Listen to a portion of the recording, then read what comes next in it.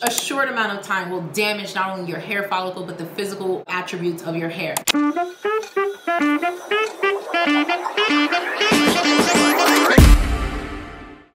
All right, boo, so this is part two of the top 10 things that you're doing that is destroying your hair or damaging your hair's texture. So I already did my whole long spiel about hair scripts and who we are, what we do, all of that. Subscribe to the channel, comment down below if you have any questions, and let's just jump right in. So this is obviously number six, but we're gonna say number one because it's video number two is holding on to split ends. Okay, sis, so I talked about this in my retention video, my left length retention and how to grow your hair past the plateau. Yes, do not over cut your ends, right? Do not, because you're obviously constantly cutting your ends because you have poor hygiene or poor, not poor hygiene, poor hygiene practices or poor practices in between washes.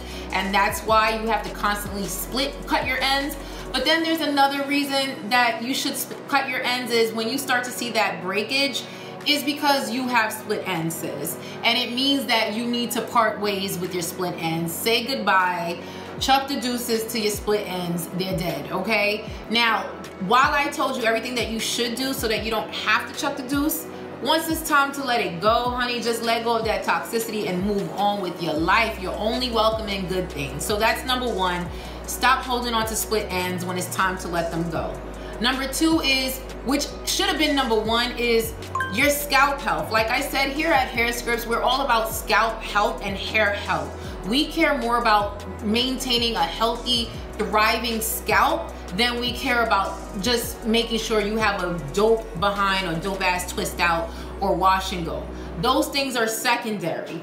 But while we're on the topic, regardless of what's going on, if your scalp is susceptible to buildup, if your hair follicles are clogged up, if there's so much oil going on or sebum production or over clogification, and that's not a word of your scalp, sis, you gotta forget about worrying about the hair down here really quickly and focus on that scalp. Once you get that pH balance, that blood circulating, the nutrients flowing, and all the other things, and that pH balance and everything doing what it needs to do, then you can focus on making sure that your hair texture is correct let's put our priorities in order, okay? Hey baddies, so it's your girl Bevy, and listen, if you don't know, I had to interrupt what you were watching because I have to tell you, there's a lot of y'all that are new to this channel, and I have to put you on to game. If your hair is thinning, if you have thinner hair, if your hair is shedding, falling, breaking, you cannot figure out what's going on. Wash day sucks, your ponytails are getting thicker, thinner, excuse me, and your parts are widening. Listen, you need to go, not, no, you need to run, not walk to the description box and get your hands on the Her Scripts medicated hair growth serums. My baddies have tried it and they spoke and they love it, okay? You cannot find this anywhere else. You can't get it at Target. You can't get it at Wally's World. You cannot get it at Ulta Sephora, Houston, Atlanta, Vegas. You cannot get it anywhere, okay? You can only get it at herscriptsrx.com in the description box. Why? Because I have 10 plus years of experience in the healthcare and pharmaceutical industries. I understand drug formulations. I understand ingredients that are clinically proving to be effective to work, to do the things that needs to be done. Your girl was diagnosed with androgenetic alopecia, aka female pattern hair loss, and I struggled with thinning. And my hair is like, I should have had it out, but listen, it's thriving. So if you want thriving hair, if you tried everything, you tired of wasting your money, that's it, that's it, that's it. I am your angel. I am your fairy, hairy godmother. Go down to the description box, girl, and, and boys and gals and everybody. Go down to the description box and get your hands on the Her Scripts Medicated Hair Growth Serum. Don't let me say it again. Number three, not checking the ingredients in your hair products. We have a video on our channel talking about the 10 worst ingredients in your hair care products. Please check that out. Check that video out. It's telling you the top 10 ingredients that you should not have in your natural hair care products. But the problem is we just buy things because someone told us, an influencer said buy it, it works. Or we buy things because they make our hair look amazing, but they're doing absolutely nothing for the health of our scalp, or it's actually destroying or breaking down the bonds in your hair while it's making it look better. I know, right? I mean, among the other things, like there are cancer causing agents and ingredients and chemical burns and all that other extra stuff, just the simplest, simplest thing that you should remember is read the stuff on your ingredient package just whatever it's the same it's the equivalent of looking at the nutritional facts you're not just to eat something without haphazardly knowing what's in it right well some of us right and most of us need to make that lifestyle change where we actually look at the nutritional facts on our on our package labels, right? Same thing with the packages and the ingredients, right? Stay away from sulfates, stay away from parabens. That's all the obvious, but there's those hidden ingredients that we don't know, those hidden silicones, those hidden chemicals that are not only breaking and damaging your hair, but it's causing overall damage to your hair follicle, which we care mostly about here at Hair Scripts, okay? Moving on to number four. Again, harsh chemicals.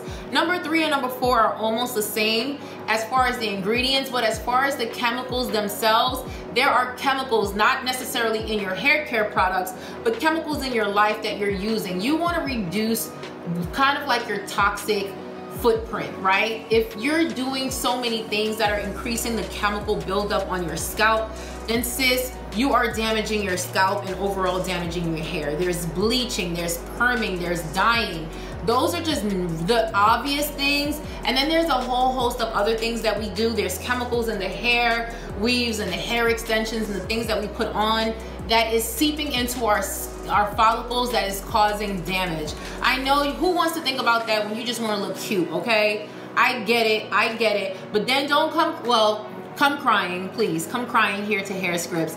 Link down below, hairscriptsapp.com. You can cry all you want and we will plug you to the person that's gonna help you. But at the end of the day, don't say you don't know if we're trying to show you that these things over time will have harsh, harsh impact on your hair but there's just certain things that is not really over time. A short amount of time will damage not only your hair follicle, but the physical um, attributes of your hair. And then last but not least, over manipulation and tight hairstyles.